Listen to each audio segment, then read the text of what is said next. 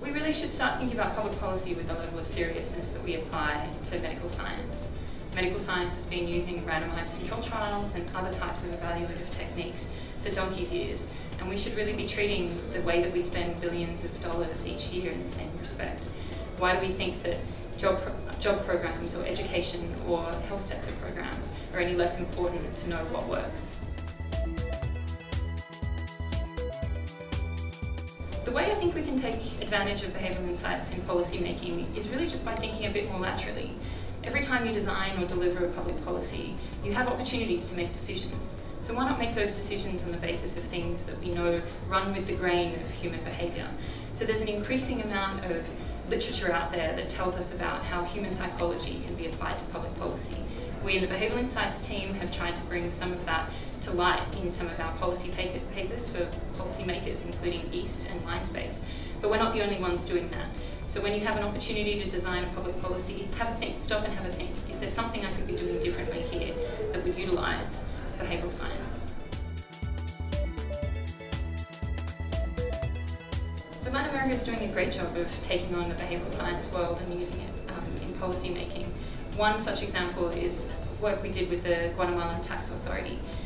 There we were looking to help people to pay their tax on time and we took some of the same things that we tried and tested in the UK to see whether or not they would work in a very different context like Guatemala.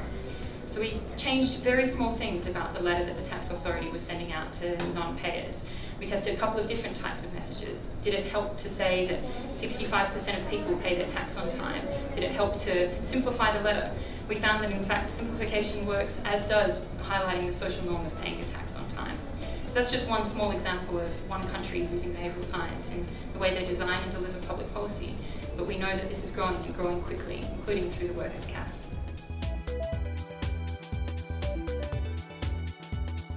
What would be my advice for behavioural, um, using behavioural science in, in the work for policymakers?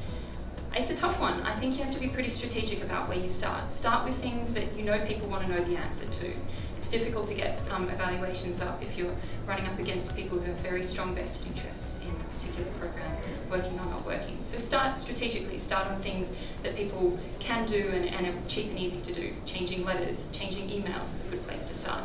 But very quickly you'll find that as you develop insights into what works and you can prove to decision makers that there are cheap and easy ways of making public policy much more effective, they'll allow you and give you the scope to work on the really core issues like how do we get people to um, save for the future, how do we design health programs that minimise diabetes, and how do we get people to turn up and stay in school.